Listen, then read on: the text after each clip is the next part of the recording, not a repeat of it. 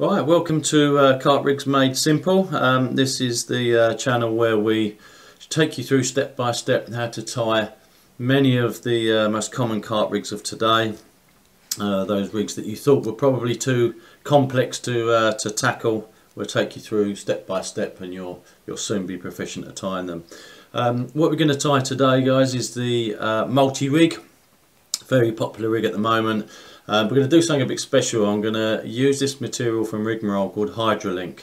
Um, what's uh, special about this is that um, inside this outer coated braid, um, if I just sort of push that out, you can see that inside there is a um, is a fluorocarbon inner, a 10 pound fluorocarbon inner. So in this 25 pound Hydrolink, I've got a 10 pound fluorocarbon inner and what that allows us to do is to um, to make incredible hinges, breaks in the material but we'll, um, we'll show you a bit later. But uh, let's, uh, let's get on to step one. Okay, so what we want to do here is uh, is create a loop on the on the back of this hook.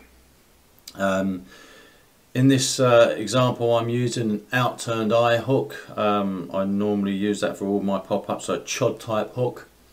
Um, I find it gives it a much better much better angle. Um, and what I'm going to do is um, different to how you'd normally tie the knotless knot and most uh, most rigs is I'm going to come through the face of the eye so from the point side and through front to back and I'm going to slide two or three inches of material out.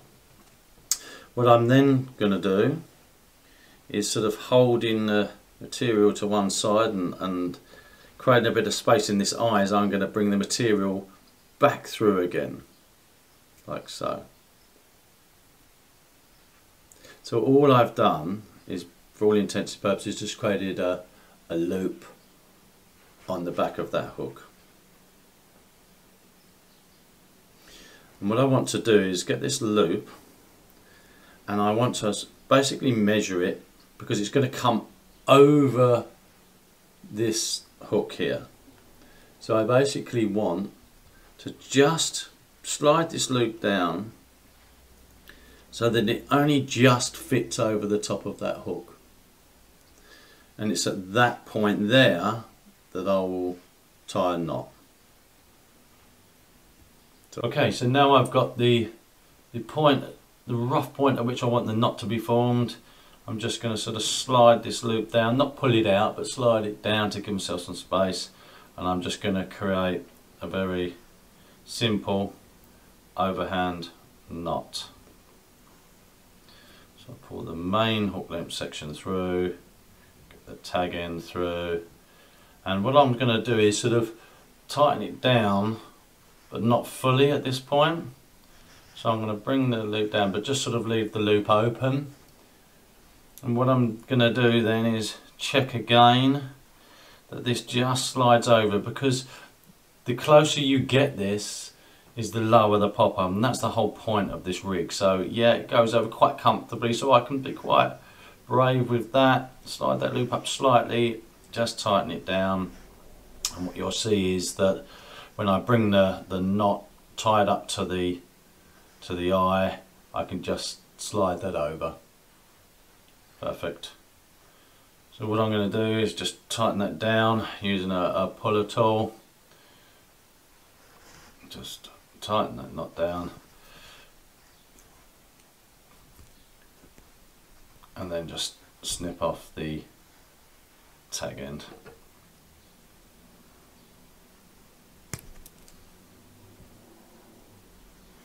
Okay, now before we slide this loop over the hook, what I'm going to do is I prefer these little um, bait screws. You may prefer the uh, floss and rig ring, it's up to you, but I prefer the bait screws. Um, never ever had an issue with one, never had a bait come off, and I'm just going to slide it onto the loop so that it as you see there just slides up and down the loop over both parts. And then I'm just going to bring that loop over the hook. As you see between the slide the hook into the loop basically and bring it over the hook. So that now once I pull it down slightly I have for all intents and purposes formed a, a D on the on the back of the hook and sliding around on that. Is my is my little uh, bait screw.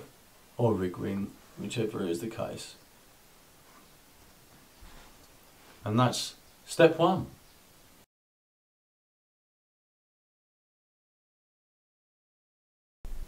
Okay for step two what I'm now going to do is create the hinge. Now if you was using a normal coated braid you would just from this from almost from the knot with your fingers to drag a bit of the coating back to create this sort of hinge.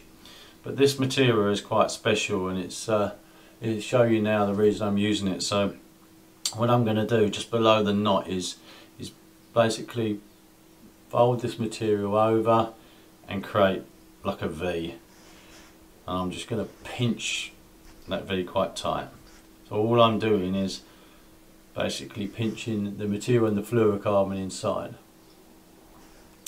And then what I'm going to do is basically I haven't got nails but I'm just going to push the material and tease out the uh, the fluorocarbon inside because I keep just uh, just tease it down. And what you will do is just tease out a little loop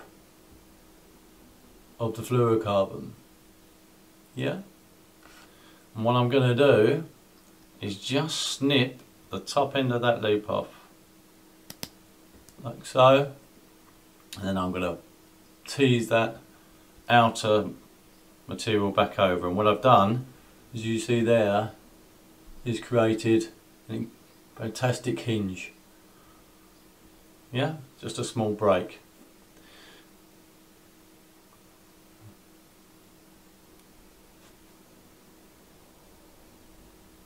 brilliant and at the point of that break just behind it is where I'll introduce a little bit of putty Okay, so just after the break, I'm going to fold over a little bit of putty. Make that nice and neat, barrel it up. You know, even with this you want to be a bit meticulous, nice and neat. Barrel it over. And there we have a perfect hinge. So that our rig sits up beautifully yeah like so so if I quickly screw a little pop up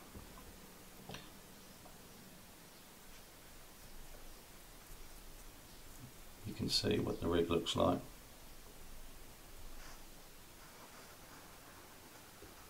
have an effect like so beautiful rig Fantastic, very, very versatile. And that's step two. Okay, as always, we're just going to finish this rig off with a little rigmarole rig sleeve there. I'm going to place it through.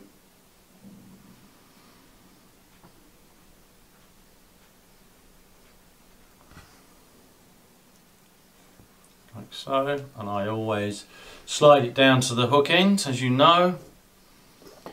And I'm going to introduce my rig safe here. As always accuracy very very important. And I'm going to place um, the hinge part of the rig on the zero. And I'm going to slide my rig sleeve along until the point hits the 7 because that's how I like to fish this rig around about 7 inches there. And then as always I grab the back of the material, pull the big sleeve out the way and tie a quick overhand loop. Nothing complicated, just a very quick overhand loop. Tighten it up or snip off the excess. And then I bring the rig sleeve all the way down and just put it over the material, leave myself a tiny little loop. And then because that has the uh, fluorocarbon inside, it's pretty straight, but it will steam straight. But um, as you can see, we have a beautiful multi-rig there. And an incredibly flexible hinge. Give it a go.